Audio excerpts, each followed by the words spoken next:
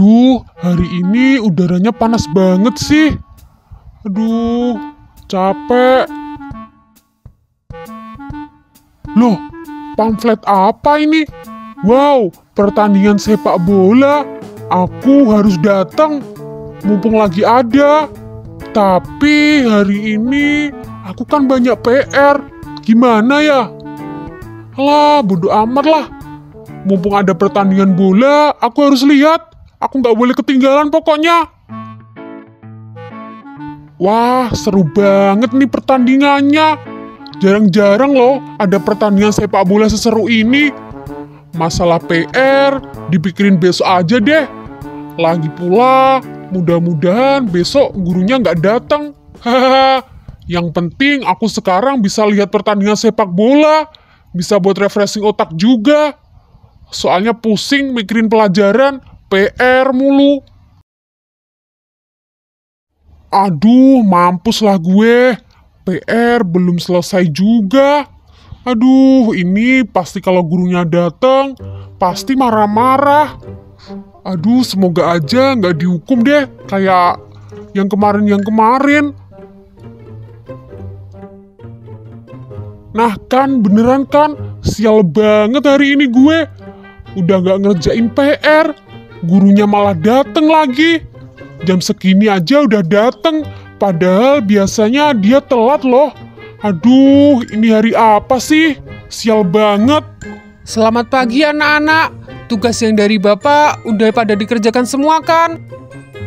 Ayo, kalau udah sekarang dikumpulkan. Maju ke depan satu persatu ya. Sekalian Bapak cek. Udah bener semua apa belum PR-nya? Ayo,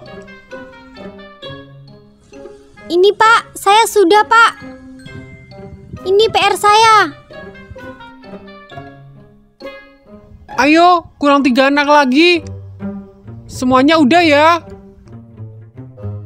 Dodi, kenapa kamu gak mengumpulkan PR-mu?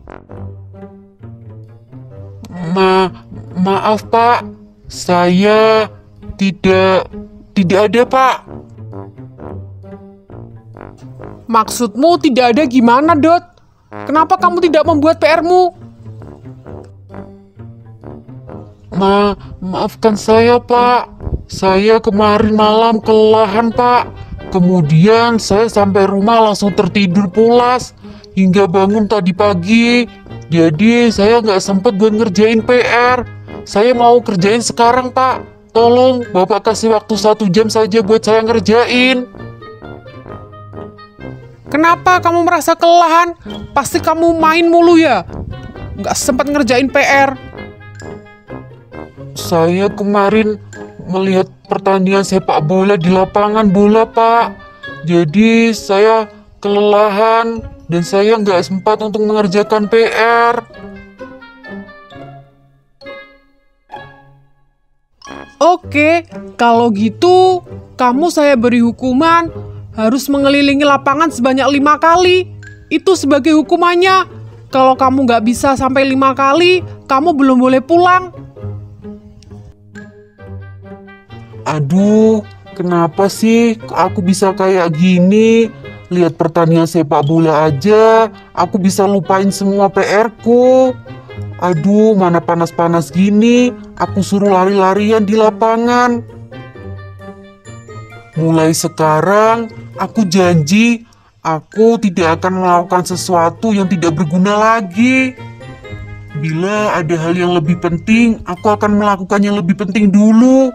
Aku harus bertanggung jawab atas tugas-tugasku yang aku belum selesaikan.